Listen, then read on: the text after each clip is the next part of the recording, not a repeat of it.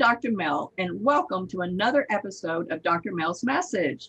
Today, for the second time, I have a fabulous author by the name of John Brewer. Now, John, he's written probably more than 14 books, an amazing imagination, and a story worth telling. So today, we're going to not only talk with him, but we're going to talk about his book uh, called A Mind Released. Welcome, John. How are you? Um, I can hear a little better now. Uh, they uh, took some debris out of one ear, but uh, I'm going to have to get this a hearing aid. I, I really am. Well, you know what? I will talk a little louder, and if I need to repeat something, just let me know. And of course, your beautiful wife, Mary Sue, is with us, so she can also can help with that. So to begin, John, tell me a little bit about your book, A Mind Released. Okay, it's basically at one level uh, about family. Um, an 11 year old boy uh, was uh, abandoned by his father after his mother and sister die. And uh, he has no place to go, no one to uh, live with. So he gathers his uh, belongings and starts wandering, looking for a place where he can find work. This is in uh, Regency, England. And uh, if he doesn't find a place to work, he could very well starve to death. and eventually, after wandering, some minor adventures uh, occurring, he meets. We have a cat here who wants to join us. Most cats do, believe it or not. Um, he he uh, finds himself uh, uh, near a potter's, well, a blacksmith shop. The fellow's name is Potter, and he's looking for his uh, apprentice who has um, taken a leave of absence as he was likely to do. So George Wycombe, that's the boy's name, uh, gets taken in and uh, starts pumping the forge, which is rough, exhausting work, but he keeps at it. All right, let's take a few minutes and let's switch over for just a little bit and let's look at the cover reveal trailer.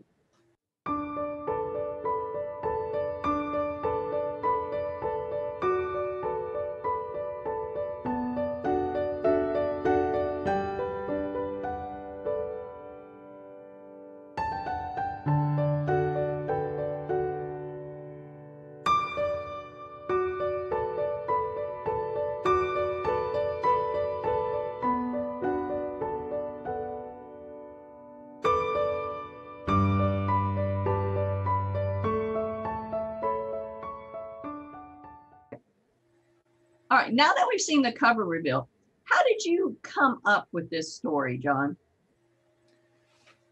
Uh, I'm not sure. Sometimes I remember uh, something I see, something usually on television, something I read, something I someone tells me, and this kernel, this nucleus, this seed begins to sprout. But in this case, I did not and uh, I, I cannot remember where I got it from, but uh, as I said, it's basically about family. So he joins the Potter family, which is the blacksmith, his wife, and his daughter, uh, becomes, as uh, apprentices uh, did in those days, part of the family. Uh, turns out the daughter is um, was born uh, with, well, what I describe basically as cleft palate syndrome. She's disfigured. The other children mock her and, and make her life miserable. So uh, her habit has been she never has learned to talk, uh, partly because uh, the other children uh, really wouldn't communicate with her. So her habit is to uh, get something to eat and run off in the woods and hide there until it's time to eat. And uh, perhaps because George wants to be part of the family and he feels sorry for her, he uh, begins to teach her how to read and write. That's Wow. the, uh, The board. yeah, Well, that explains has a- why there is a chalkboard on the name of this book, for sure. yes. And it says, My name is Alice Potter. And he teaches her how to read and write. He also has uh, copies of the book uh, his father gave to his mother before she died and he left. Uh, Ivanhoe by Walter Scott. Let me ask you this. And he teaches her how to read from this. All right, let me ask you this, John. Is this book set in modern day times? In the past? Regency, England, Uh, I know in, 1820s. there you go, in the 1820s. All right, It's a Regency romance, okay. but Um, not like any Regency romance you've ever heard of or read or, or seen, I assure you. How so? Hmm? How so? Well, uh, as I said, the Regency romance usually involves a young woman who uh, wins the heart of some nobleman Ah, when they marry. Okay. Uh, But here now we have- with a someone with, girl who was Yeah. disfigured and it's a blacksmith shop and um there's no nobleman well there is sort of it turns out they, they grow close they become friends and uh, then she tells him about something she saw uh, she saw a man kill another man oh, no. and uh, George, who uh, had happened to uh, go through that area, had learned many years ago that uh, the man who uh, did the killing was the grandson of the man who owned the uh, uh, quarry and the big house and so forth. Uh, apparently wanted to take over the place but unfortunately, the killer saw her. And of course, her face was quite distinctive. She runs away. He chases her, but she's fast. But uh, she's worried. They're in a different uh, shire, really. And uh, it wouldn't be easy for him to find her, uh, but she's worried. And she has good reason to be. Wow. This is more than just a tale about a family, then. I mean, this has uh, intrigue in it, and mystery in it, Yes. and thriller in it. Yes. Wow. Okay. now- Uh, let me. This question, John, is actually going to go to to your beautiful wife, Mary Sue. Is he like this all the time with his imagination? Hey, I'm just asking. I, I really want to know this.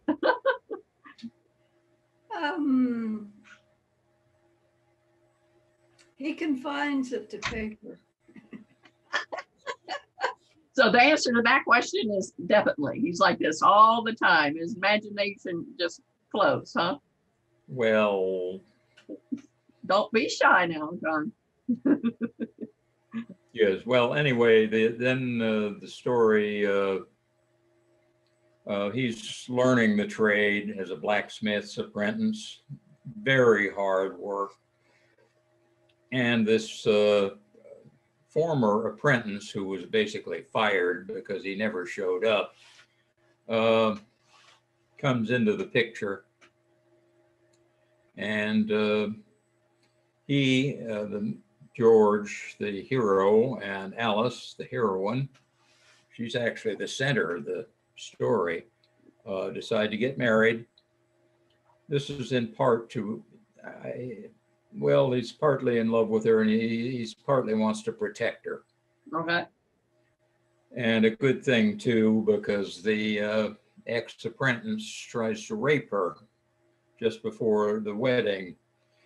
And George comes out and gives the guy a beating and uh, kicks his He has his pants down and he throat kicks him out into the street where a crowd has gathered to watch. And the guy disappears. He leaves town. Okay, fine. Yeah, Hey, but that Mary, doesn't sound like what was fine it if you ask me. That sounds like there's something about to happen. Yes. Um, I mean, wait, anyway, something does happen. Yeah, Uh, George is uh, working in the blacksmith shop. The uh, we have here. No, it's not on screen, don't worry about it. Oh, okay. Oh, yes, the pink nosed kitty cat. Okay. Gray with blue eyes. Anyway, um, everything seems fine. George is working and he hears uh, his wife, Alice, scream and he comes out and there's this guy with a big knife. He's trying, he's slashed her wrist. She's trying to defend herself. He's trying to kill her. And George uh, lets the guy have it with his hammer, and the guy drops his knife and runs off to a chariot. And he can see in the chariot the former blacksmith's apprentice. And he can see when the assassin, would be assassin, gets in, there's a Q on the uh, chariot. Uh, Carriage, Well, it's it's a carriage. well, it was called a chariot, but anyway. Uh, and the Q stands for Quarry View, which was the name of the uh, mansion that the uh, original owner had built from the profits from the quarry and his farm and so forth before he was murdered by his grandson. Okay, that means uh, the secrets of her location is out. Uh, the uh, murderer knows where she is, and he's uh, probably going to try again. But for a while, nothing happens until um, a troop of gypsies arrives. They camp nearby. Um, You don't have to tell the whole story. Okay, well, anyway, uh, George and Alice decide to visit the place because, you know, this is interesting. And they're kidnapped. wow. I mean, this, okay. And they wind up in the cellar, Oh, they, the wine wait, cellar of the mansion Oh. with the uh, killer oh, and uh, his two accomplices, including the former apprentice. And uh, the guy tells them, the apprentices, the and the uh, assassin, to go dig their graves. Then Wow. they leave them locked in the cellar. Okay, well, that's getting close to the end, and I'll stop. right. So we, yeah. Well, I was gonna say we don't want to give it all away. Um, this this book intrigues me in a lot of different ways. First, I love the aspect that you've managed to combine romance with a thriller and action all at once. And that should appeal to both men and women. So, job well done. But another thing, you very rarely see a main character in a book that has such a disfigurement or a deformity where somebody comes to the rescue. And in this particular case, we're talking about Alice. And so that right there, it, it just intrigues me on the get go because it's not something most writers write about, although it makes for a fabulous, uh, you know, antagonist or protagonist in this case, uh, which she is. So, do you see this particular book as a sequel, possibly? Did I? I'm sorry. Do you see this book as a possible sequel? Um, no, uh, I've only written one sequel to one of my books. Okay. Uh, all the others are sui generis, I think is the expression. Um, Oh, one of my previous books uh, called Quadrille uh, involves a female character. My female characters, by the way, are human beings. They aren't just bit dolls. Uh, they have personalities.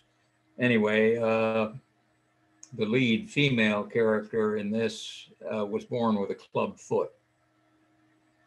And uh, the lead male character meets her. I'm being molested by a kitty cat. Uh, they're they're both students at the University of London, and basically uh, they become buddies. Although she has deeper feelings for him, uh, and then the First World War, war breaks out and so forth. But uh, yeah, that's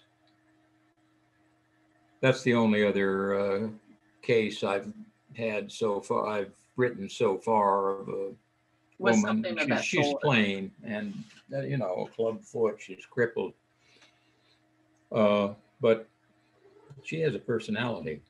Well, uh, apparently most of your characters do because that's And Like I said, I've we are interviewed being right invaded. now. And We you are have a being fertile imagination. And there's the baby. I love it. Now, for those of you that may be Ah. joining us, I am speaking with John Brewer about his book, actually his 14th book, called A Mind Released. And for those that just jumped in on there, and his cat and his beautiful wife. So we, we've got them all here with us today. John, with this particular book, A Mind Released, is there maybe a moral to this that you wish to get across to other people? Well, there is. It's on the last page. Well, then uh, don't give it away. They'll have to read it to find out. I, I don't want to. Yeah, I don't want you to do it either. Yeah, it's I don't. the development. It's the part of the I think development. people will like. Well, that's what I mean. Now they're going to go. Now I have to read the book because neither one of us are talking about it. And sometimes it's the things that we don't say that will get people interested in your book. So well done there.